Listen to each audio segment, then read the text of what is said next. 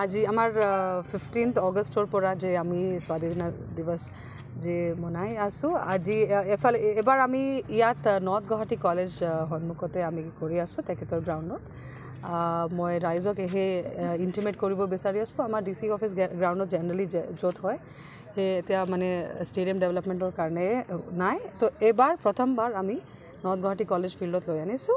কি আমাৰ আম, ৰাইজৰ মাজত হ'ব মাৰ্কেট এৰিয়াৰ মাজত হ'ব। তো ৰাইজো অকণমান মানে ভালকৈ পাৰ্টিচিপেট কৰাৰ চান্স আছে।